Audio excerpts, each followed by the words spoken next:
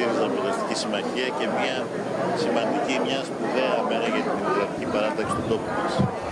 Θα έλεγα ότι είναι η Κυριακή της Δημοκρατίας. Αντώνη, νομίζω να πάμε, ότι, να πάμε α, να δούμε λίγο την, ε, τη Μπορούμε δήλωση να και ο πάμε να Αλέξης δούμε και Τσίπρας. αναλυτικά τώρα τις δηλώσεις. Ωραία. Βεβαίως.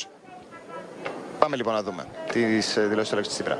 ιστορική μέρα για το ΣΥΡΙΖΑ Προοδευτική Συμμαχίας και μια σημαντική, μια σπουδαία μέρα για την δημοκρατική παράταξη του τόπου μας.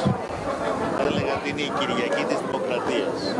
Μια γιορτή συμμετοχής που μπορεί να εμπεδώσει στον τόπο μας, να δυναμώσει και να εμπεδώσει το μήνυμα της πολιτικής αλλαγής.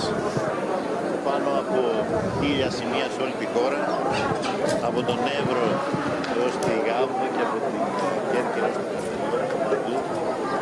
Μήματα εκλογικά έχουν στηθεί για μια πρωτόγνωρη διαδικασία, γιατί δεν είναι μόνο η εκλογή του Προέδρου, αλλά της συλλογικής ηγεσίας του ΣΥΡΙΖΑ.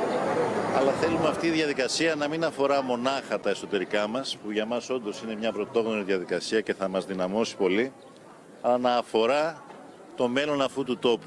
Γι' αυτό καλούμε σήμερα στις κάλπες μας κάθε δημοκρατικό πολίτη να έχει μια ευκαιρία να, να, το, να ακουστεί η φωνή του.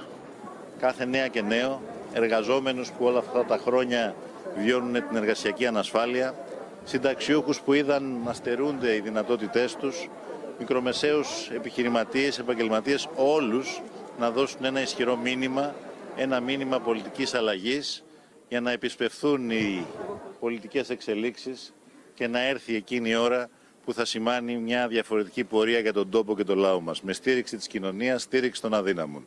Σήμερα καλούμε τους πολίτες να πάρουν το ΣΥΡΙΖΑ στα χέρια τους, ώστε αύριο να πάρουν τις τύχες της χώρας στα δικά τους χέρια. Σας ευχαριστώ.